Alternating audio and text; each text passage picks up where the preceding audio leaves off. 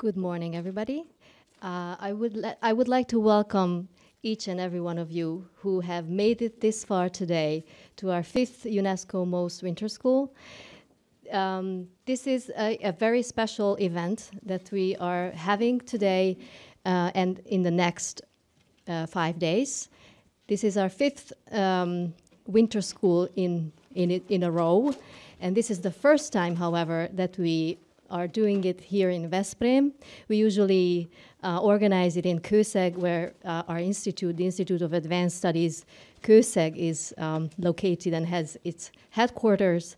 Uh, this year is a special year because Veszprém is European Capital of Culture, and uh, Euro the European Capital of Culture has sponsored this uh, event for us. So we are really very happy um, to be hosted in this beautiful city, and we are very happy to be hosting every one of you who, who have um, made it to this event. Let me um, extend a special warm welcome to uh, Mr. Gyula Porga, the mayor of Veszprém.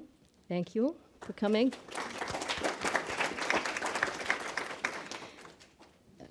Ms. Aliz Markovic, the CEO of VEB um, 2023. And let me have a special warm welcome to Mr. Mladen Andrlić, uh, the Croatian ambassador to Hungary.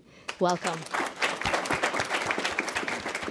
Mr. Andrlić has been a recurrent visitor at our events, and we always like to have you back with us. Thank you. We are super and extremely happy that we've had so many applications for this event, and we have about 100 participants from around 50 countries here. We have speakers from about 40 speakers from about 16 countries. So this is a truly international event. This is an event that we've been sort of um, wanting and we've been craving for to be organizing. So um, we are extremely happy to have you. Let me um, now give the floor to our first welcome uh, speech, and uh, it's going to be held by Professor Miklós Réthelyi. Uh, he's the chair for the Hungarian, uh, the National Commission for UNESCO, and he's a pro professor emeritus at Semmelweis Medical University. And um, let me give the floor to you.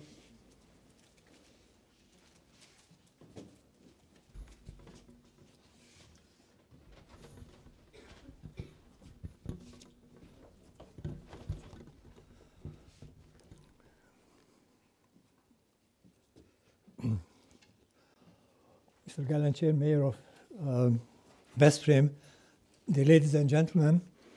Before I start my welcome speech, I would like to call your attention to a recent press release saying that the World Heritage Committee of UNESCO decided to inscribe the historic center of Odessa, Ukraine, on the World Heritage List. And I quote from here Odessa, a free city, a world city, a legendary port that has left its mark on cinema, literature, and the arts, Odessa is thus placed under the reinforced protection of the international community. While the war continues, this inscription embodies our collective determination to ensure that this city, which has always surmounted global upheavals, is preserved from further destruction, unquote, announced Audrey Azoulay, UNESCO Director General. The historic center of Odessa was placed immediately as World Heritage in danger. Dear ladies and gentlemen, it's a great pleasure to welcome you on the first day of the fifth MOST conference 2023 entitled Resilience in the Age of Uncertainty. It's also a great pleasure for me to do this in this beautiful historic town, Veszprém, in the cultural capital of Europe in 2023. The title of a conference explains and emphasizes its substance and objectives. I'm asking myself whether the emphasis on, emphasis on the word resilience expresses the most important virtue to react on the events of the age of uncertainty. The word resilience has several synonyms like flexibility, elasticity, endurance, toughness, or bounce, bouncing back. These words mean that after the cessation of, the, of some force, objects or living creatures are able to return to the original condition. To cope with the problems of an uncertain world, we need more, not to return to the point of origin, but to step forward. The term age of uncertainty was coined by John Kenneth Galbraith for a TV series in 1973 at the request of a BBC reporter.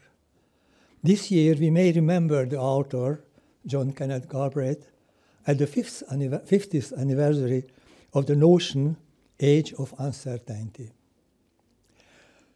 Forty years after its birth, in the autumn of 2013, Ferenc Miszlivetz, the chairman of the one time Social Sciences Committee of the Hungarian National Committee of UNESCO, organized a conference in Budapest entitled Landscape of Crisis A New Age of Uncertainty. I was invited to welcome uh, the conference as the president of the Hungarian National Committee of UNESCO as the present position. In my talk, I compared security and uncertainty. It was stated that we needed a strategy to live in the future that mixes security and uncertainty. The strategy must be based on education, knowledge, culture, and information, which, is, which are the four pillars of UNESCO.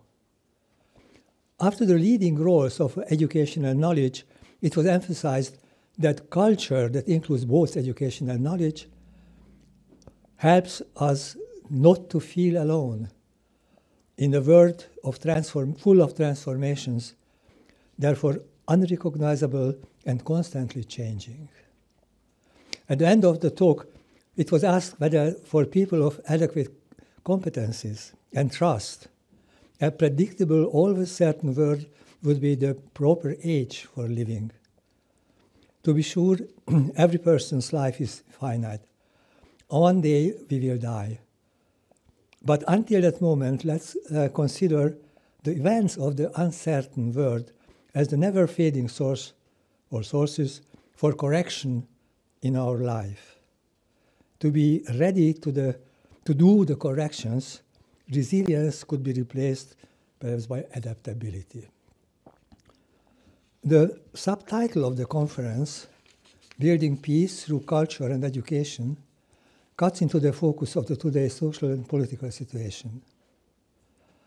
The creation of UNESCO in 1946, following the horrible destructions of the Second World War, was aimed to establish and strengthen peace in the world. The first sentence of the UNESCO's charter reads Since wars arise in the consciousness of the people, it is necessary to work on the consciousness of the people to defend peace. To defend peace, the world needs peace, peacemakers. Pope Francis put the question of, this, of his reflection on November 1st, 2022 how can one be a peacemaker? We all crave for peace, but often it means to live in calm conditions, in quietness, left undisturbed by others, in peace. In contrast, there are people who not only want to live in peace, but who are ready to build peace. They are the peace building uh, agents. At the foundation of peace, one finds commitment, cooperation, and patience. Peace will not to fall into our laps from above. Peace sprouts from the soil of life, in friendship, in the family, at the workplace, in a subway wagon full of passengers, and in the soil of this conference too. its growth is aided by acts of justice and mercy. Peace cannot be achieved by conquests, by defeating people or nations. Pope Francis also gives some advice on how to become peacemakers. First of all, it is necessary to disarm our hearts, remove from all aggressive thoughts, complaints, indifferences turned against each other. Peace building paves the way to peace. We forgive those who have offended or hurt us. We care about those on the margins of society. And we try to remedy injustice for those who have less. Of course, what people, Pope Francis teaches is based on the thoughts of the Bible, in which we also find this phrase glory in heaven to God and peace on earth to men of goodwill. Among peacemakers, we will surely find those who recognize a causal relationship between the two halves of this teaching. The peace on earth has prerequisite. Man alone is not enough for peace building. Returning to what is enshrined in the UNESCO's charter, quote again, a peace that is based solely on the political and economic agreements of governments cannot bring about the unanimous, lasting, and sincere cooperation of peoples of the world.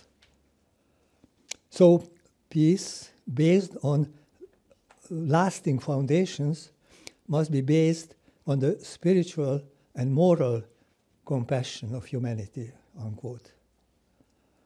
I hope you have noticed the crosstalk between the teaching of Pope Francis and the aims of the founding fathers of UNESCO.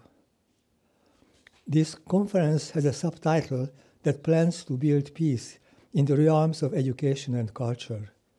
I am convinced that spiritual and moral solidarity emerges from these two.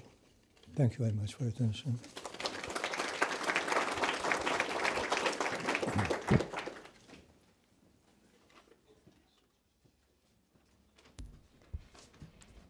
This winter school wouldn't be a winter school without the University of Pannonia. The University of Pannonia, who has several students representing it today with us, has been our partner for, for many years. And we have uh, the rector of this prestigious university with us today, Mr. Uh, Professor András Gelencsér, and I would like to now give him the floor to welcome you.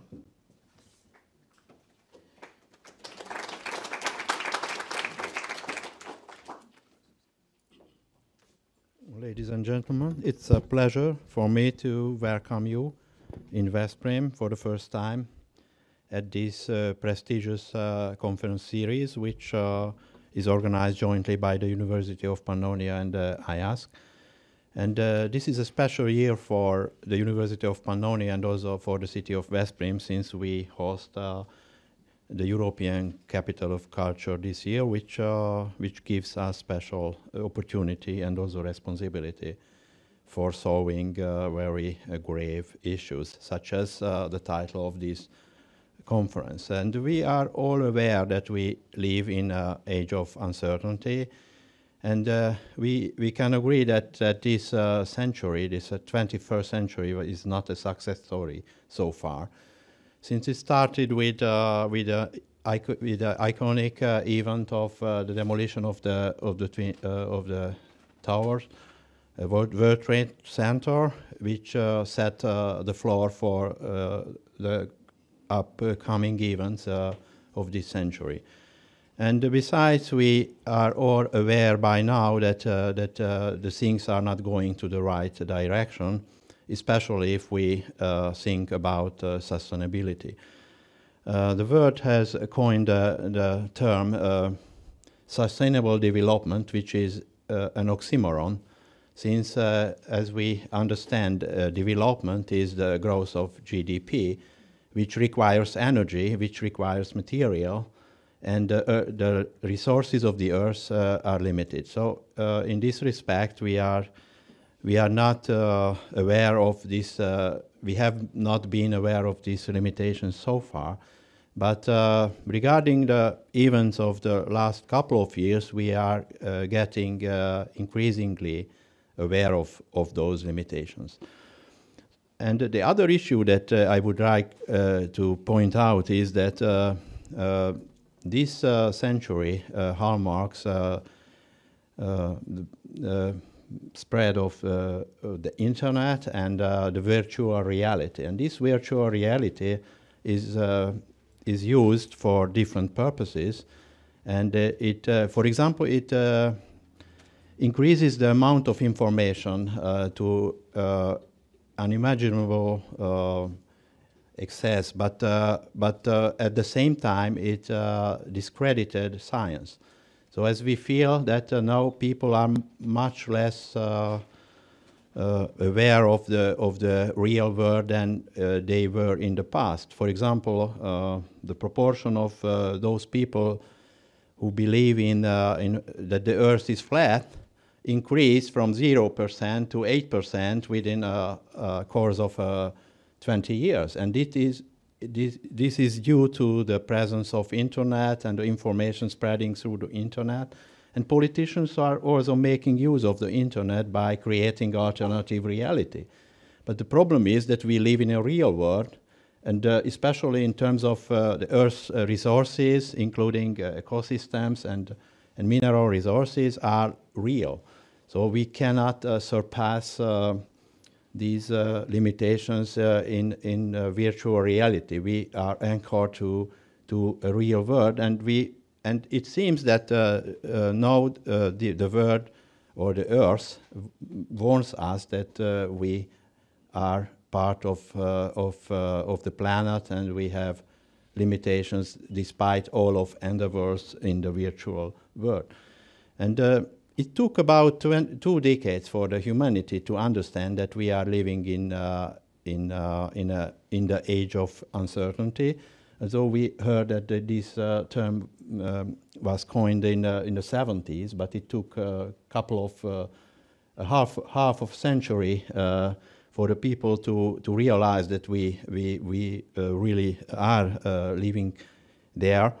And and uh, I think that we are we are facing uh, hard times in in the coming decades. So we we need to be very uh, united. We need to be very aware. We need to somehow reestablish the uh, credibility of science, and also uh, to we, we, have to make peace uh, because we are we are relying on one another. So globalization has reached a point from which there is no way back.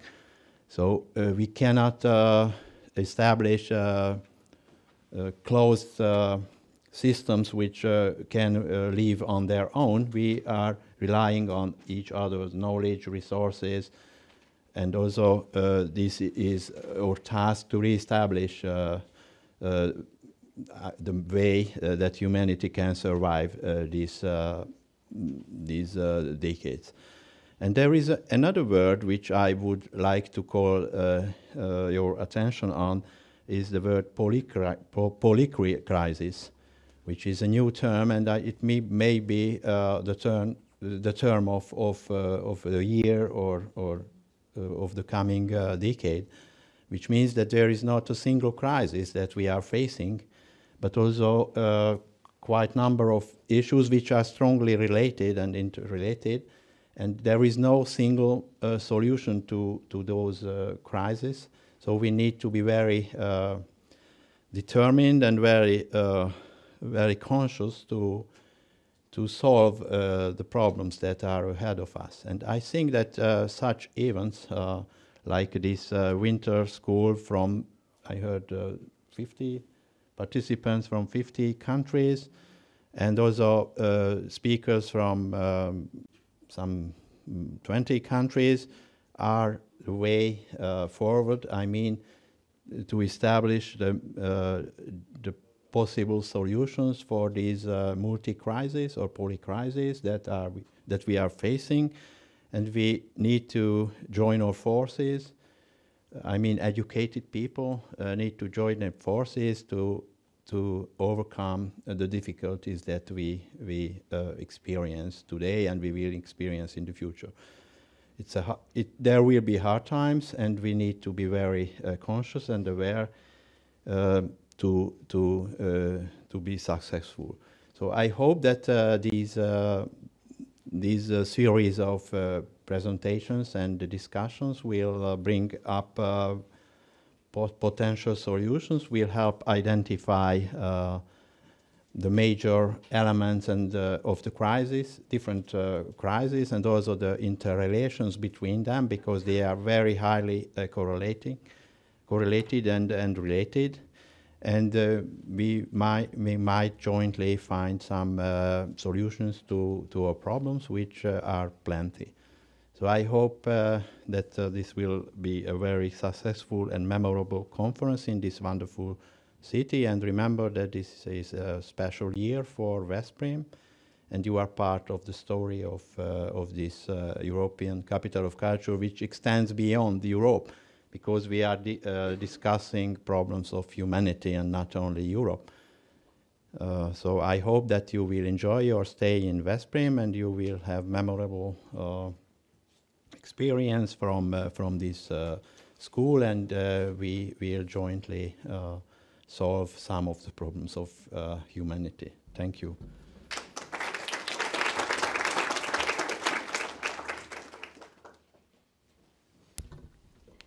Yes, I, ho I hope so too. UNESCO, UNESCO, most schools are especially designed to not just be conferences, but to be workshops where, where participants and speakers, they engage in a dialogue and they, they actually discuss these issues uh, on a horizon, in a horizontal manner with each other. So in every session, we will try to make time for for a, for a horizontal discussion between speakers and participants and never, never uh, feel ashamed or afraid of asking questions, of making comments.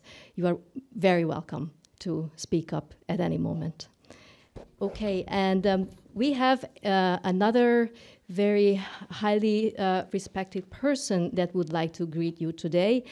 Uh, he's Mr. Ernesto Ottone Ramirez, and he's Assistant um, Director General for, for Culture at UNESCO in Paris. Since he has not been able to come uh, physically uh, today, he has sent a video message that I would like to invite you to watch with, with us.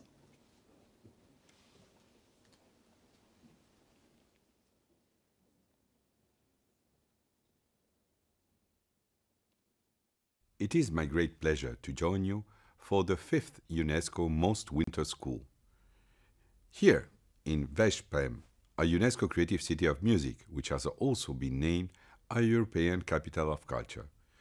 During this edition of the UNESCO Most Winter School, you will focus on a wide range of issues impacting culture today, from conflicts and emergencies to climate change and digital transformation. UNESCO was founded on the belief that protecting and promoting culture is essential to the achieving of peace and mutual understanding. In the wake of conflicts and emergencies, reviving cultural heritage and cultural life is essential to the rebuilding of communities, to promoting reconciliations, and to creating a sense of hope for the future. For decades, UNESCO has supported the reconstruction and recovery of culture in the wake of conflicts and emergencies, from Bosnia and Herzegovina to Timbuktu, Iraq, Beirut, Afghanistan, and Ukraine. In the wake of the devastating earthquakes in Turkey and Syria, we are working with our partners and national authorities to undertake an initial survey of damages to heritage. Climate change represents another important challenge, as we have seen with the recent floods, floods in Pakistan, where UNESCO has mobilized support for the protection of cultural heritage in the affected regions. UNESCO recently published a major study on World Heritage glaciers, one third of which are set to disappear by 2050 as a result of climate change. The culture sector was among the hardest hit by the COVID 19 pandemic, which also contributed to the rapid digitalization of the sector, which poses real risks to cultural diversity. This past September, UNESCO held the UNESCO World Conference on Cultural Policies and Sustainable Development, Mondiacult 2022. The historic conference resulted in a declaration adopted by 150 countries that recognizes culture as a global public good. The declaration also highlights the power of culture to renew and broaden bilateral and multilateral cooperation, promote multilingualism and a culture of peace, and enable dialogue and solidarity within and between countries, including through cultural diplomacy. UNESCO has worked to strengthen the role of culture as a driver of diplomacy and international cooperation by supporting the integration of culture in the G20 and by organizing the first global meetings of ministers of culture in decades. One of the key ways that UNESCO works to promote international cooperation and dialogue is through the implementation of its cultural conventions and other standing, uh, standard standing instruments, including the 2003 Convention for the Safeguarding of the Intangible Cultural Heritage, which celebrates this year its 20th anniversary. These conventions unite countries around common norms and commitments to protect and promote the diversity of cultural expression, uphold the social and economic rights of artists, safeguarding living heritage, fight the illicit trafficking of cultural property, and protect cultural property in the event of armed conflicts, among others. As current and future leaders in the field of culture, your idea, vision, and voices will be essential to putting these norms into practice and to meeting the challenges facing culture today. I have no doubt that you are up to the task. Thank you, and thank you to the organizer of this UNESCO Most Winter School.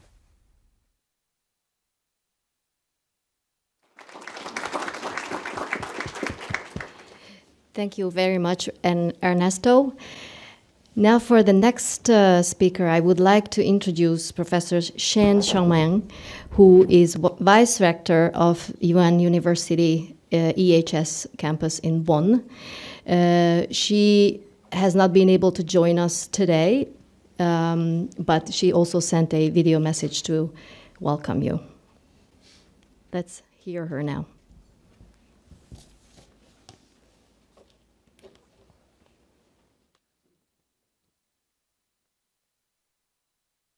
Hello, everyone. My name is Xiaomeng Shen. I'm the Vice Rector of United Nations University and the Director of UN University Institute for Environment and Human Security. First and foremost, I wish to congratulate the organizers for the launch of the fifth UNESCO Most Winter School. Held this year in Veszprém, a beautiful UNESCO city of music and one of European capitals of Culture in 2023. I have the privilege of also holding the role of UNESCO Learning Cities Ambassador for the city of Bonn in Germany. Hence, I very much appreciate and recognize the value and importance of celebrating and cherishing international cultural heritage and the crucial role and power of education and knowledge in tackling some of the greatest challenges of our time. Indeed, you will all agree with me that we have been facing the most difficult times of humanity. Many people are on their moves because they have lost their homes. They have been facing the threat of terrorism, the COVID 19 pandemic, and the humanitarian crisis on our Eastern Front just to name a few. The series of incidents we faced in the past decade has taught us how lack of knowledge, understanding, and interest in the lives of others could turn tensions into catastrophes, and how they could drive further tensions in this interconnected world. If it is us humans who created catastrophes, we should also be in the position to reverse the tide and build our societies back better. We can never emphasize enough the role of shared culture and education, as well as collaborative action in enhancing the resilience of people in times of uncertainty, and in uniting us to work together for a better future. The challenge is formidable, but there are opportunities that go hand in hand with any challenge. Digital technologies present such opportunities. However, it is important to use the chance of digital transformation, social media, and artificial intelligence deliberately for human well-being and to mitigate disaster risks. We can be the initiators of change, drawing on knowledge, culture, and collaboration. This UNESCO MOST Winter School is instrumental to foster wisdom in all of these areas. In my role as Vice Rector at the UN University, I'm very excited to see curious participants and students to come together and co-create a joint vision and give humanity hope. I wish you all a fruitful event and thank you very much.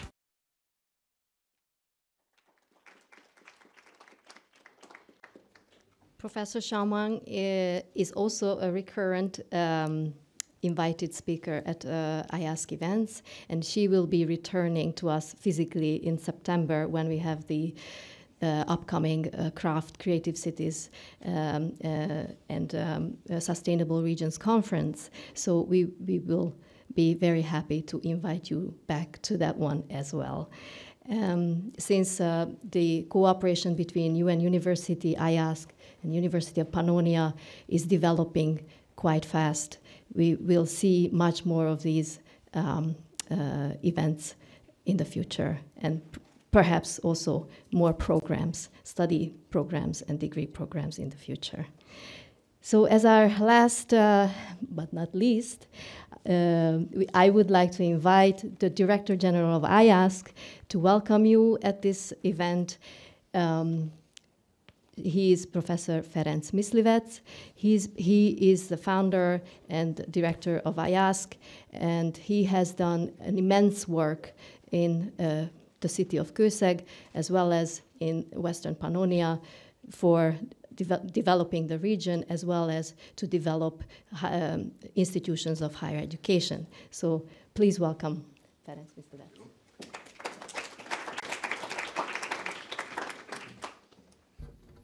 Miszlivetz. Thank you very much. Um, very welcome, all of you. Um, forgive me, I'm not going to give everyone's names because we are going to start a panel together very soon.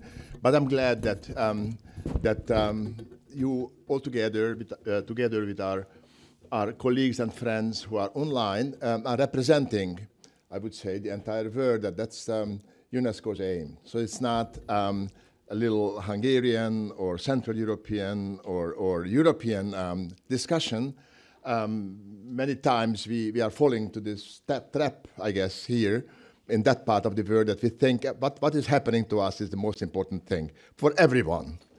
Um, and this, this even concerns this big, the big challenge, what, what we are discussing today, the war. Uh, for, for many of us, living in Eastern Central Europe or even Europe or around Russia. This is a, quite a big challenge. But I'm not sure that everyone, and you, you are going to tell us, uh, everyone in the world, in, in Africa, in Latin America, uh, in certain parts of Asia, this is, uh, this is the most important concern uh, of, of your everyday um, uh, existence. We should talk about it. Um, but what I'm very, um, very glad, very pleased that um, so many of you took this, this invitation seriously and you came here in person.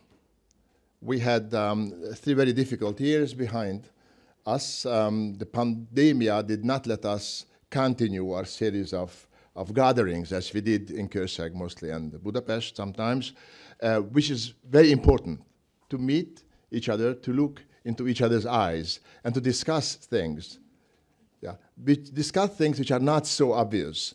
And this is one of my, my, my, my, my message, if you want, here, that we are going to talk about um, very challenging things.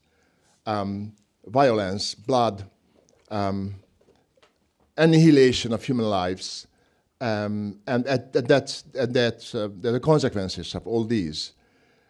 But before starting to judge emotionally, ideologically, or, or, or politically, we should try, and this is the task of, of scientists, researchers, and educators, and politicians, to dig deeper, to try to understand um, the reasons, the causes of the situation. If we, if we are really serious to create peace, that should not be a piece of what um, once um, a British historian um, called the peace of the zoo, E.P. Thompson, that, that when we are all living in our cage and we are not able to move, so we can't, we, we can't create a new war. It has to be a very different kind of setup, though, whose contour we cannot see yet. Because that needs, um, that needs um, uh, contemplation, deliberation, debate, discussions, um, maybe conflicts, understanding, trying to understand very different kinds of views, like about sanctions, tremendous different, of, uh, different interpretations in the world. Yeah? Um, and this, this, these debates are missed. Um, and, and Professor Réthelyi uh, mentioned that was 10 years ago we started to talk about the interwoven uh, multi-headed crisis and uncer uncertainty. Yes, it was um, John Kenneth Galbraith who coined this idea in a TV series in BBC in the 70s about the age of uncertainty. And you can say that all ages are the ages of uncertainty. But what we suggested with Professor Hankiss, who coined this, this, this phrase, is a new age of uncertainty. And then comes what kind of new age is this? Of paradoxes, of lack, lack of any certainty, the end of certainty, that, that our, our concepts became paradoxical. Yeah? It's, it's like in an Orwellian way almost. When we say democracy, most of the time it's lack of democracy. It's always like that. A, a, a notion contains its opposition. But if, if more than 40 or 50% of a notion is, is the opposite, and it's very difficult to use to describe, to understand, and to analyze complex phenomena. So here we have a, a huge, a huge task um, ahead, and, and that, that we need um, patience, we need to listen to each other, and we have to do it in a continuous way. It's not that we have five wonderful days in this beautiful city, Veszprém, who is hosting us, which I, I for which I congratulate to, um, to, to, Mr. Mayor and, and all, all of, of, of your colleagues, um, Also our colleague, and our institute, who is a strategic partner. It's a beautiful thing. One of the great ideas of the European Union um, to choose one or two um, capitals for, for the European culture each year. That gives a chance for, for those who are engaged in, in music, in arts, in, in, in social dialogue, in, in any kinds of culture to gather um, and to exchange their products, their productions, etc. But, but imagine that we are doing this now and here when the, the uncertainty and the unpredictability of war is, is, is just chasing us. And that kind of paradox, we, that kind of contradiction, we need to interpret. And, and uh, yeah, we talked about, several of you mentioned the multi-layered nature of culture? The multicultural um, uh, uh, character of our world. Um, there is no um, national, 100% clean culture or cultural heritage. So what's happening to our culture in this age, the last 20, 25 years, when nations and nation states are more inward-looking, uh, and, and ethnic nationalism is on the rise, and, and, and people, our neighbors, believe that um, they not only have to fight Russian tanks, which they have to, and we have to help them as much as possible, but also annihilate Russian culture from their everyday life. This is, again, something we have to Pushkin. Statue of Pushkin was moved from, from the main square of Kiev. Tchaikovsky was banned in some of Europeans' um, concert halls. So that is something we have to discuss um, very clearly um, and uh, very honestly. And to, to, in order to try to imagine a new peace order, which might not be very easy to build, we need that kind of horizontal and very difficult um, dialogues to start. Otherwise, I think we might have a ceasefire but we might end up in, in, in, in, um, in a piece of, of the zoo, which we, we should, we should um, avoid um, with any, any, any means and efforts. So again, but here and now, um, I'm happy to announce that we are going to talk about other things um, than war, um, about, um, about the transcultural identities, about memory and the importance of remembrance, about the new technologies which help us uh, to understand in a deeper way reality, but it also carrying the danger of, of misleading uh, ourselves and each other. So it's, it's going to be a very complex um, series of discussions. And I'm, I'm very glad to announce that we want to continue this. It's not going to be only these five days. We are going to go on. And we have smaller and bigger seminars with the help of, of the technology, hopefully um, in a hybrid form. And the next bigger meeting is um, in Kőszeg at of June, the 28th um, International Summer University, which we started when we had, we had very optimistic views about the European integration. Um, we, are not, we were not yet members of the European Union in 96, uh, when we had um, optimism, cheer, visitors from all over of the Europe. Today we were happy to, to, to, to receive a few, very, very few um, um, core EU member state um, visitors. In the last 10 years, there's no dialogue. There's no interest. It's a mutual problem. Um, among the lecturers, yes, we have from the EU um, countries quite a few lecturers, but uh, those who want to listen, uh, who are the particip participants, are more from the wider world. And that, that's, again, a phenomenon we should think about, yeah? Even with Hungarian participants, I was happy the last year when it turned out that we do have like minimum from five or six Hungarian universities. Uh, that wasn't the case. So that is the danger that people are, um, how to say it, trying to escape um, this, this frightening reality. And I think uh, Professor Rita is absolutely right. Resilience and sustainability are becoming very empty um, uh, slogans. We have to be very careful by using them. Resilience could also mean that the government is suggesting people, okay, be tougher, be more clever. There's a more problem that you should learn how to readjust. No, resilience is not going to be possible without cooperation between different sectors, namely the governance, the government, civil society, and, and, and, and, and the business world. And this is not yet happening. Yeah? So what's it? So be, be resilient. It's so nice to be resilient. It's just, if, you know, you get a big punch and you jump up and, and you, do, you, you, you do your stuff further. Yeah, don't worry. Be resilient. Or be, yeah, let's have a sustainable what. Um, so we, we have to start to rethink uh, our concepts, have put more content into these concepts, or create new ones in order to get closer to this very complex and very rapidly changing reality in order to find possible solutions. But that is, again, not possible if you are doing it in closed circles, uh, either be them uh, professional cir circles or national circles or, or artistic circles. They need to open up, and this is a good example for it. So thank you for coming. I wish you a very good discussion um, inside and outside of this seminar room. Thank you for the organizers for this wonderful place. That is, I'm very, I'm really honored to be here in this Hangvilla, which is a good example of civil society initiative that was in initiated by Veszprém uh, civil societies. It's not a government um, um, building.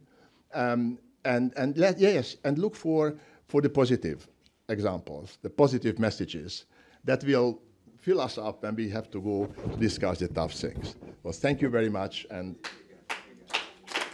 have a nice time in Veszprém.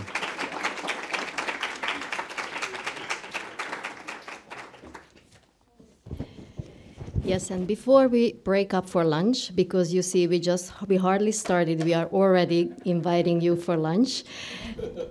but before we do that, let me invite you to also uh, when you go outside of this room, try go and use the city, and go on discussing. There's a lot of uh, interesting places here that you can visit. um, pubs and restaurants to sit and, dis- and continue dis- discussing whatever it is that occupies your minds. So please use the city here. And as far as today, we will meet back here at one o'clock, and the session will be entitled Imagining Post War Futures Dimensions of Security and the Culture of Peace. Have a nice lunch.